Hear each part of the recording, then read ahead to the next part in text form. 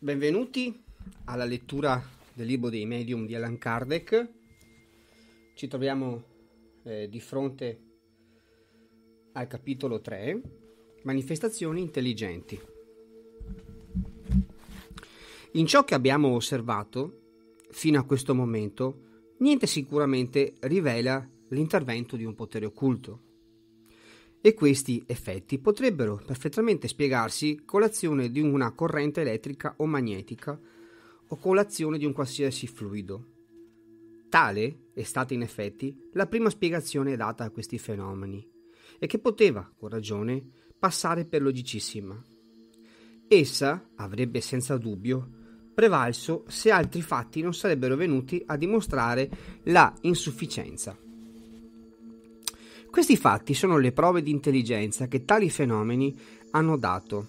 Ora, siccome ogni effetto intelligente deve avere una causa intelligente, risultava evidente che anche ammettendo che l'elettricità o qualsiasi altro fluido vi giocasse da qualche parte, un'altra causa si mescolava. Qual era questa causa? Qual era questa intelligenza? Questa è ciò che le successive osservazioni hanno fatto crescere. 66. Perché una manifestazione sia intelligente, non è necessario che essa sia eloquente, arguta o sapiente. È sufficiente che essa provi che è un atto libero e volontario, il quale esprime un'intenzione o una risposta a un pensiero. Di sicuro, quando uno vede una banderuola agitata dal vento, è ben certo che essa obbedisce solo a un'impulsione meccanica ma se si riconoscessero nei movimenti della banderuola dei segni intenzionali, se essa girasse a destra o a sinistra velocemente o con lentezza al comando, si sarebbe ben costretti ad ammettere non già che la banderuola è intelligente, ma che essa obbedisce a una intelligenza.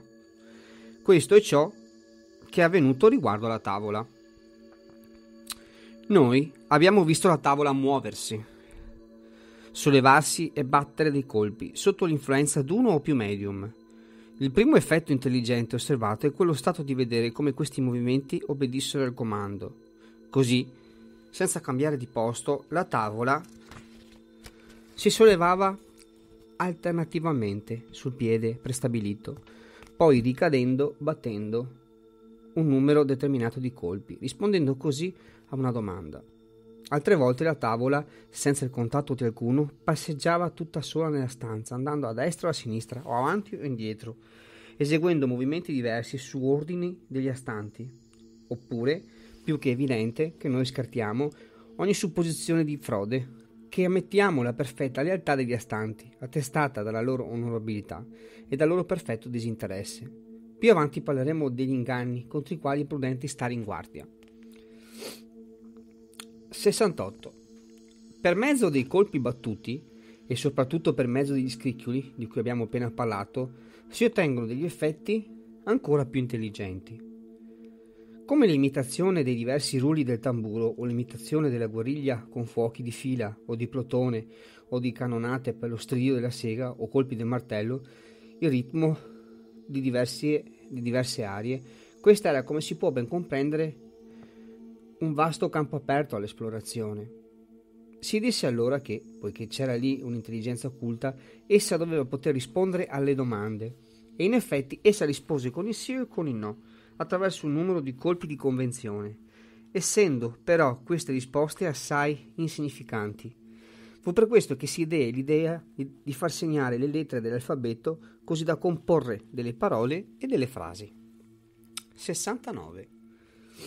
Questi fatti, ripetuti a volontà da migliaia di persone e in tutti i paesi, non potevano lasciare dubbi della natura intelligenza e delle manifestazioni. Fu allora che sorse un nuovo sistema, secondo cui questa intelligenza non sarebbe altro che l'intelligenza del medium, dell'interrogante o della, o della stessa degli astanti.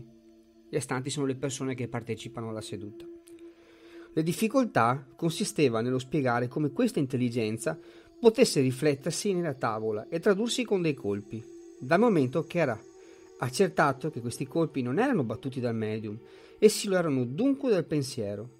Ora il pensiero che batte dei colpi era un fenomeno ancora più prodigioso di tutti quelli cui si era testimoni.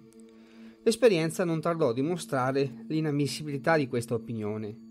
In effetti, Le risposte si trovavano assai spesso in opposizione formale con il pensiero degli astanti, al di fuori della portata intellettuale dei medium, e anche in lingue da lui ignorate, o fatti a lui sconosciuti. Gli esempi sono così numerosi che è quasi impossibile che chiunque si sia minimamente occupato di comunicazione spiritista non, se ne stia, non sia stato parecchie volte testimone noi non citeremo che un solo fatto che ci è stato riportato da un testimone oculare. 70. Su una nave della Marina Imperiale francese che stazionava nei mari della Cina, tutto l'equipaggio dei marinai, allo Stato Maggiore, era intento a far parlare le tavole. Si ebbe l'idea di evocare lo spirito di un luogotenente del medesimo vascello, morto da due anni. Egli venne. E dopo varie comunicazioni che riempirono tutti di stupore, disse quanto segue, battendo dei colpi.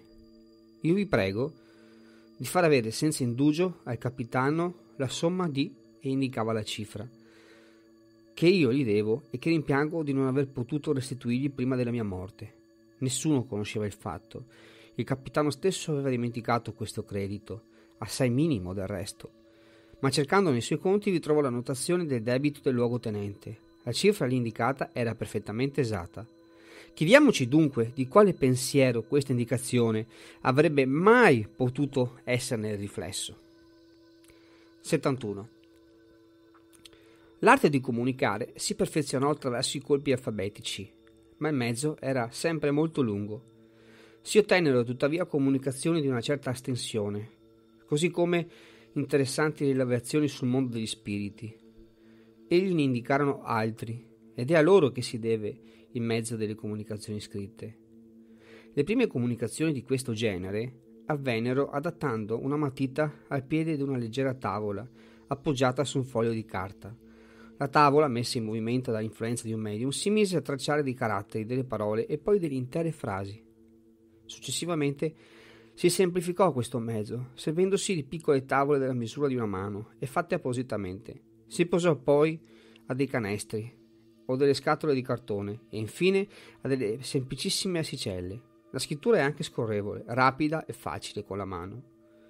Ma più tardi si conobbero che tutti gli oggetti non erano in definitiva che delle appendici dei veri e propri portamatite, di cui si poteva fare a meno. Tenendo il medium con la sua stessa mano la matita, la mano trascinata da un movimento involontario, scriveva sotto l'impulso che gli imprimeva lo spirito, e senza il concorso né della volontà, né del pensiero, né del medium.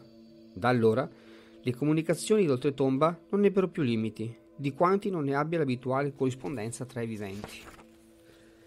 Torneremo su questi differenti mezzi che spiegheremo nel, nei particolari. Li abbiamo rapidamente accennati per mostrare la successione dei fatti che ci hanno condotto a constatare in questi fenomeni l'intervento di intelligenze occulte, altrimenti dette spiriti.